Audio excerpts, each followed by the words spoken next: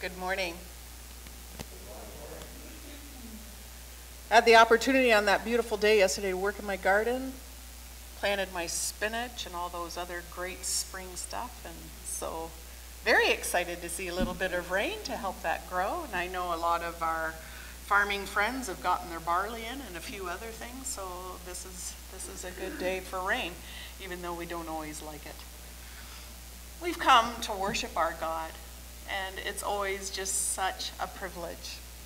In times when we can't gather with each other, we I don't know, I think it's just it's just really neat that we can still gather together and it lifts up our hearts and it encourages us and as we meet together, however we do that over um, a computer screen or out in the parking lot, we know that we're with God's people. And wherever God's people are, God says He is. And that's good news. Just a couple of announcements. Um, we're hoping, well, as you know, this is our 175th year, and we're just going to assume the whole year is a lockdown. But we'd still like to plan some activities and rejoicing for a church that has been faithful and God has been faithful to her. And so we're hoping that we can um, have some volunteers to kind of have a, a committee uh, session through a couple of ideas out there. One would be to create a video and we would invite people to give their greetings or their remembrances and uh, then have that pulled together. So if we could have a team that kind of uh, talks to people, invites them to make a video or helps them or whatever, that would be great. Also, we're thinking of maybe a drive-through reception. And there's a few ideas out there, and uh, we would do it in the summertime rather than our normal October just for the sake of weather. So if you're willing to be a part of that, send me an email or talk to one of your elders. Our annual meeting, May 2nd, has now fallen under uh, lockdown, but we must forge ahead. Uh, there's um, reports that have to be uh, have to go out for the government and and for the head offices, and uh, so we do have to go ahead. We're hoping the annual reports will be available here at the church next week Sunday. For those of you who aren't able to pick it up, we will deliver it. Please read through it carefully. Uh, basically, for the most part, we're going to assume all is a yes. If it's not, you need to contact um, one of your elders or, in particular, Lynn, our treasurer. We will whittle down the annual meeting to the the main questions, Presbyterian sharing, stipend, and budget. And um, that will be the voting that will take place on May the 2nd. So we will do it here at the church. We will include FM transmission. We will have an elder outside uh, for those of you in your cars, um, should you have any uh, emergent type questions.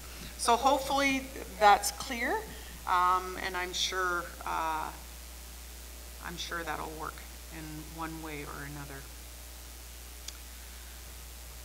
When we think of Jesus and having just come through Easter, we know that he was not a criminal, and yet they killed him. They wronged him, and yet he asked God to forgive them. He saved others, but he chose not to save himself. They killed him yet he reigns today. Therefore, God exalted him to the highest place and placed him the name that is above every other name, that at the name of Jesus every knee should bow in heaven and on earth and under the earth, and every tongue confess that Jesus Christ is Lord to the glory of the Father. Let's have a word of prayer. Heavenly Father, we thank you that we have been saved by your grace and your sacrifice through faith in Christ. We praise you, Jesus, our Christ, as you lay down your life for us. We recognize by your example that to truly become your disciples, we must deny ourselves. We now understand that we must lay our entire life on the altar as a willing offering and be willing and ready to say, Not I, but Christ. As such, be our guide, Holy Spirit, that we might be prepared to say in all things, Not our will, but yours be done. And help us take up our cross and follow you willingly and joyfully to your praise and glory. And this we ask in Jesus' name. Amen. As we've entered into a new month in terms of offering in the children's plate, we continue to give to the regular ministries of this congregation and to Presbyterian sharing. So we invite you to uh, note that on any giving you you have. And also this month, for the month of April, we will be collecting for Food for Kids. Now that's a, a local Hamilton charity, and they bring um, little packages of children who are um, underfed send home some food with them, particularly for the weekends. Now, with the pandemic, those backpack type things are not going out, but they are receiving gift cards to purchase their own foods this year. So um, we continue to give generously through our children's plate as well. As we think of the way that we give, to God and to others. It's a part of how we deny ourselves and how we declare with one heart and mind we've decided to follow Jesus. So we're going to sing that right now.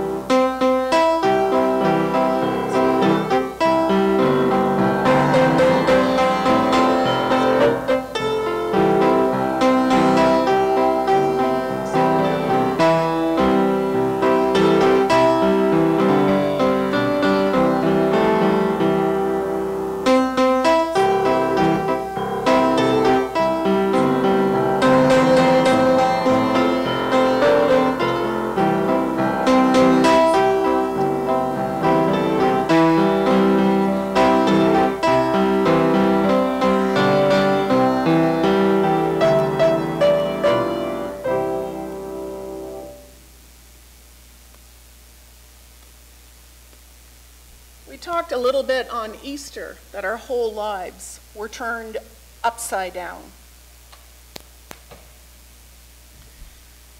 And so, we're just going to see if we can get a PowerPoint up there or not. We're, we're going to try it this week, but it's not our friend, I just want to say. It's not my friend. Okay, we'll give her a try. So, how can something that is upside down actually be right side up. This is what we talked a little bit on Easter Sunday, and we're going to have a look at that over the next couple of weeks.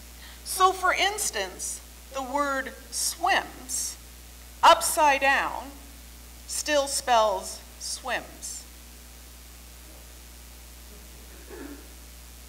You see that? For those of you in the car, take a piece of paper, try it out.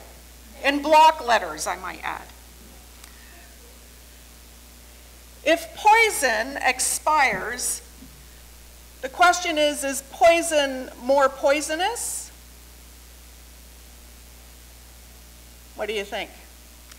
Um, I have twins, and I've often wondered if one of them realized they weren't planned. Hi, sweetie. Can we get to the next slide? Yeah, there we go. Aren't they beautiful? A hundred years ago, everyone owned a horse and only the rich had cars. And today, everyone has cars and only the rich own horses. Paradox defined. It's a statement contrary to common belief, a statement that seems contradictory, unbelievable, or absurd, but that actually might be true. Now, paradoxes are not contradictions. A, a, contradiction is I really am concerned about my health, and so I order deep fried chicken and fries with gravy every day. That's a contradiction.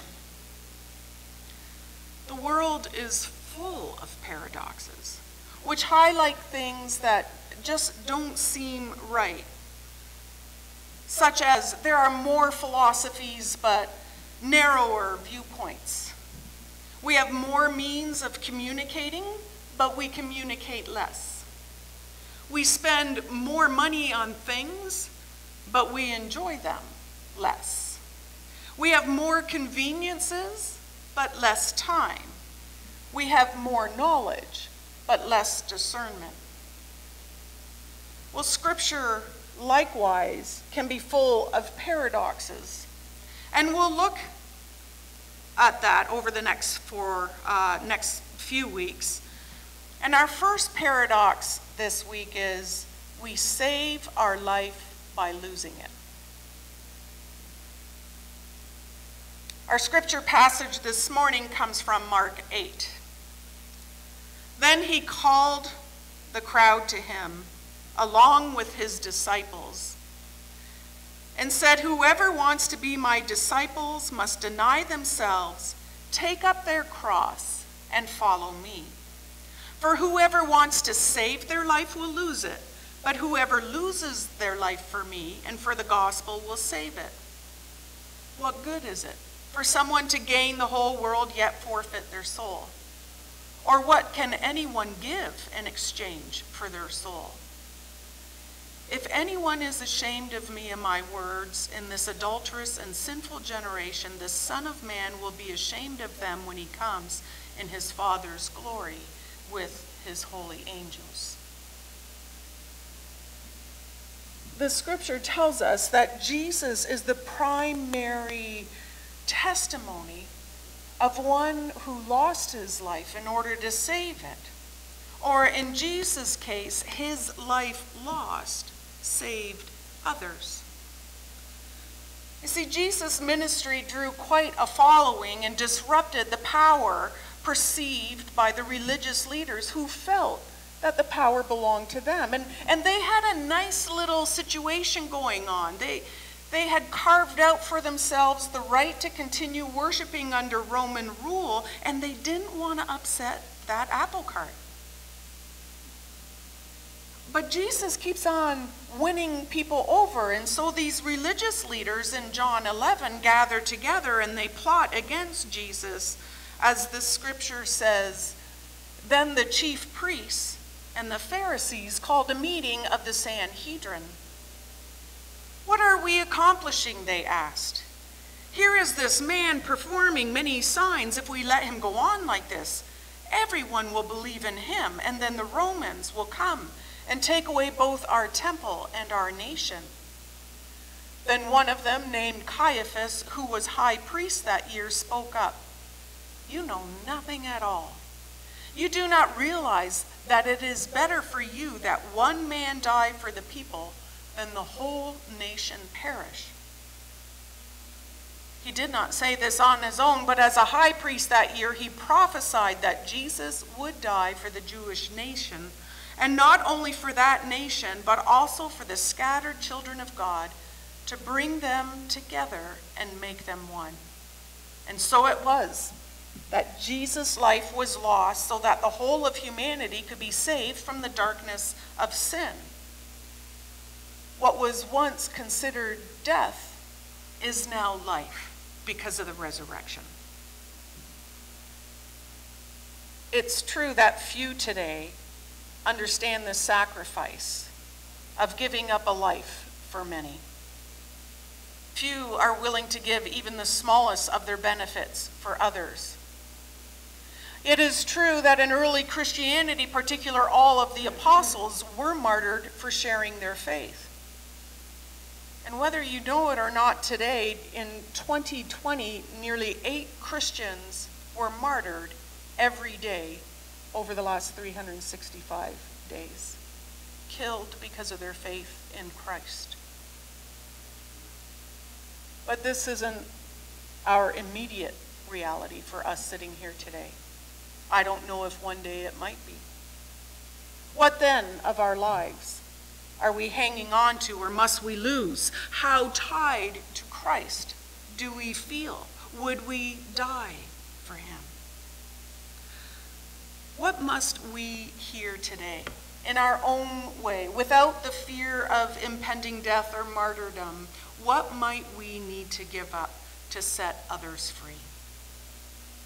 Could it be the things that we hold on to, our attachments, our desires, our preferences, our very self driven will, and submit them fully and dedicate our lives to the Father's will? Are we willing to die to ourselves for the sake of Christ? Jesus didn't live for the things of this world. You see, Jesus didn't put value into having a girlfriend or getting married. His value wasn't in having children. He didn't live to have a beautiful home. In fact, Scripture says he had no place to rest his head. He didn't obsess, I, at least Scripture doesn't tell us that, over fitness or healthy eating so that he could live a long life because he knew that he would die at 33 ish. Jesus didn't focus on building a career. He didn't live for the stuff and the things that surrounds most of our lives today. If he had, would the rest of the world have considered his life worthless or wasteful? I mean, after all, he just walked around and chatted with people. What is it that we live for? Can we look at that this morning? Is our main purpose to accomplish, to achieve, to store up? Is our priority the kingdom of God? Nurturing our faith, growing in knowledge, taking time to help the poor, minister to families both near and far. Do we ever stop running around from doing all of the things in life to sit down and teach our children, our grandchildren, about how to live for God and share the great stories of faith that we find in the Bible. And how to serve others. Can we teach one another that? Do we focus and take time for God? I'm not preaching that we can't have the things of this world or that what we accomplish isn't worth celebrating and that we should work hard. But to lose our life in this world is to sincerely ask, what are my priorities? Is there space for Jesus and God's kingdom in my life? Why do we put off building up and practicing our faith?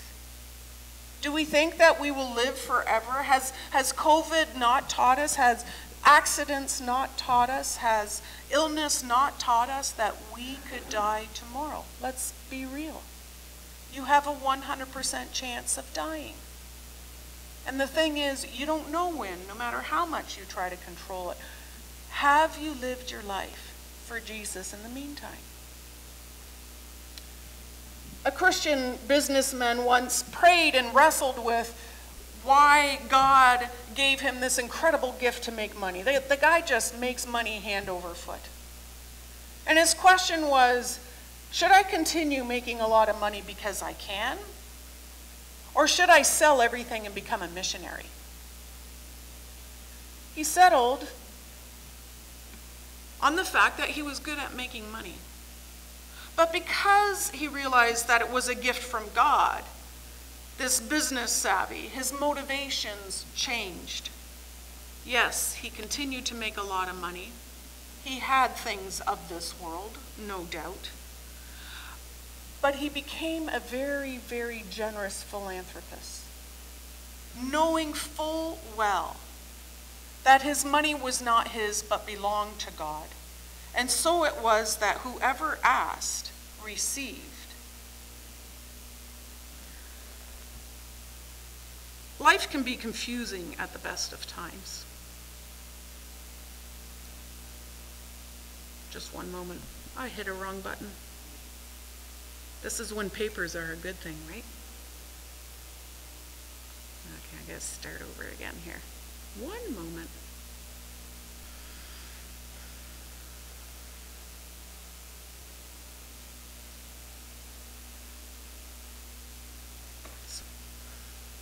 Comedian who immigrated from Russia. Yakov Smirnoff, who observed that upon immigrating to North America, he said, I realized it was a culture of immediate gratification in which, when I went to the grocery store, I saw that there was something called powder milk. You just add water and you get milk. And then he said, I saw something that said powdered orange juice, in which you could just add water and you would get orange juice. And then he said, and then I went to another aisle and I saw a baby powder and wondered, my goodness, what an incredible country. There is no Jesus to which we just add powder and water and get immediate gratification. I, I wish I could say that. I wish I could say that as soon as you confess Jesus as your Lord and Savior, that life is going to be hunky dory. It isn't just about adding a confession and adding a bit of this, some religious practices, and so on. Jesus says that we're called to deny ourselves, take up our cross, and follow him. You see, following Jesus costs us everything. We have to lose our life. And how can we not, when we come to the foot of the cross, face to face with the suffering Christ and we realize we've done an awful lot of living for ourselves. I've done a number of funerals over the years, and I have to say I've never once witnessed a burial in which cash, jewels, or a Corvette were tucked into the grave. I've never heard a testimony, gosh, I'm so glad that I worked so hard that I never spent any time with my family. I've never heard a declaration, it's so great that I didn't nurture my faith so I could be so busy. Nor have I ever heard, all that gaming and TV watching that I did in my life was the best time that I ever spent, and I don't regret ever having not had time to help others. I've only heard the opposite. Usually when it's too late. You see, words are not enough. We have to turn those regrets upside up. It's true. We can step away from the cross at Good Friday with our double fist clinging on to all of our different attachments, our things, our dreams, our desires, our busyness, our wants but in saving our lifestyle. Jesus says, You may lose something far greater. What does it profit anyone to gain the whole world and forfeit their soul? If we lose our life for Christ's sake, we find greater enrichment in this life. There is much joy when you minister to someone and they give a simple smile or a thank you, or you know that their life has been touched. It isn't the things of this world that we live for, but for God's kingdom. And for all our striving, our work, and our running around, we have to ask ourselves is it worth it? Our call is to follow Jesus. This is the great paradox of the cross. In losing his life, Christ saved ours. In losing our life, we gain Christ. Amen. Let's pray. Heavenly Father, we, we do acknowledge that we live a life of immediate gratification. And we're all guilty of it. There's, there's so much in this world that satisfies us so quickly, and yet we've come to realize it doesn't last, and we have to go looking for the next thing that excites us. Perhaps in a paradoxical way, then, Jesus, we, we thank you for COVID, for lockdowns. There's not very many people who say that, I know. But it's taught us to just take life a little easier. And we don't always like the space that we have with ourselves, but we pray, Jesus, that you would enter into that and teach us the way of your kingdom. That we would use this time to reflect on the cross that we have just walked away from. And that you would call us to pick up our cross. And Lord, we we know that being a Christian isn't always easy, and yet we've also deeply experienced how grace has changed our lives. The way in which that you have healed our minds, our souls, our relationships,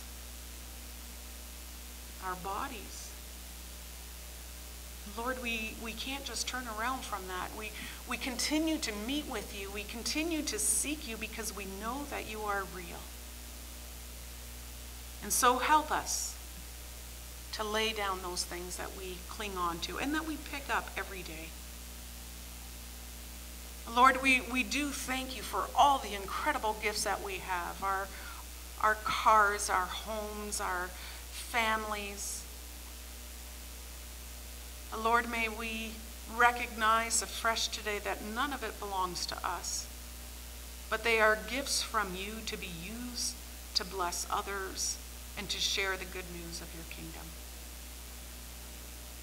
And so, Father, we long to be an Easter people who have taken our upside down lives and turned them upside up. May we speak up for justice. May we give generously to those who ask. May we minister to those who are sick, who are lonely, who are poor. May we even feel uncomfortable when we get too caught up in our own world so that you call us back to your will and your desire. And so, Father, we give up this space, this time that we have taken to worship, and we pray it will be glorifying to you. We pray it would encourage our hearts. And Father, as we pray this morning, may those who need a prayer, who need a touch of your healing hand, who need your presence, may they receive it now in Jesus' name. And Lord, for all of our struggles and our questions, we pray that you would guide us to the answers, guide us to the cross guide us to Jesus, who loved us so much that he laid down his life so that no one would be lost, no one would perish, but find eternal life in Christ our Lord. This is our hope. This is our song. And you are the one whom we follow. Thanks be to God. Amen. Let's sing. Our call is to follow Jesus.